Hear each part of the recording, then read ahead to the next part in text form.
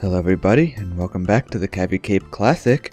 I'm your host, Yamino Senshi, And I'm your co host, Phoenix. and this is the final round of the tournament. If you remember, Bowser was disqualified in the second round due to being locked inside a safe by his team. This is the first time we are seeing the experimental doubles tournament in the Bean Hunt. Our stars for today are Mario and Luigi. They have been very promising so far. This last course is a par 11, and we're hoping they can get a full score on it.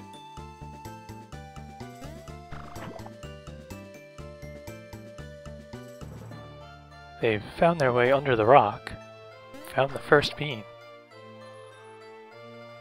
Very difficult course. As you know, other competitors have tried to smash the rock, leading to the medics having to treat 17 contestants for broken fists. Four of them were arrested for attempting to burn down that tree. But with their subterranean attack, brothers seem to be making their way through the course quite handily. Well, that's another score for them. Those beans will come in real handy for the next event, beating the shit out of things.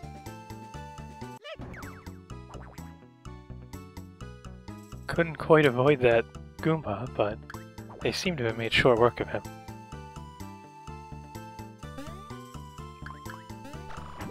While their technique of avoiding most of the obstacles on the course seems to be working out, sometimes just murder seems to be the most appropriate form. And oh, that's that's gonna cost him some time. Yeah, that jump was just a little bit too high. They're gonna have to go around and go up the stairs now.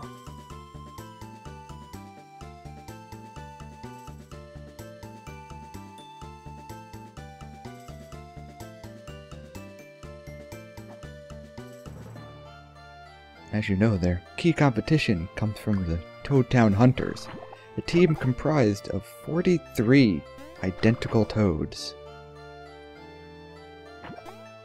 Unfortunately, they've had a rather poor showing this event, due to the fact that they've been stuck indoors 18 times.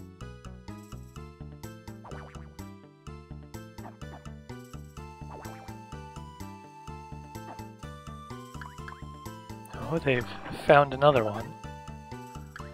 Making good time so far. Really racking up the points today. It's unfortunate we only had 11 beans because anyone coming after them is not going to be able to find any.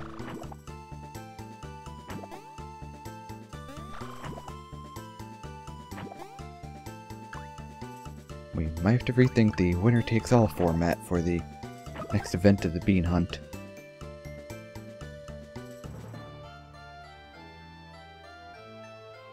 They are so confident they are just stopping in place and letting their opponents catch up.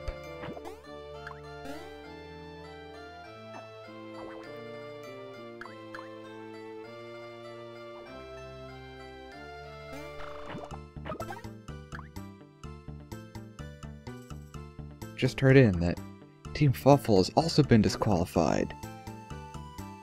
Rule 37b clearly dictates that you cannot have an axis of fury. Um, his score of 43 Pico Angers is just too much for the judges.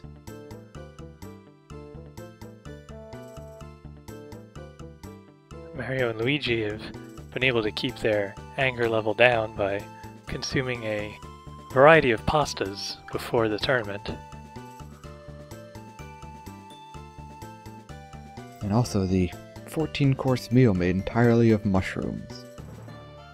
As you know, psychedelic drugs have not yet been banned by the judges.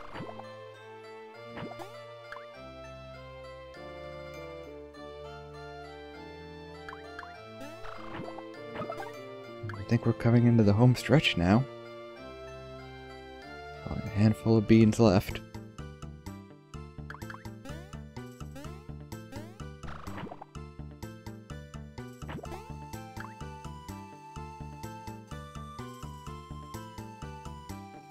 And we're into the crashed ship section of this course.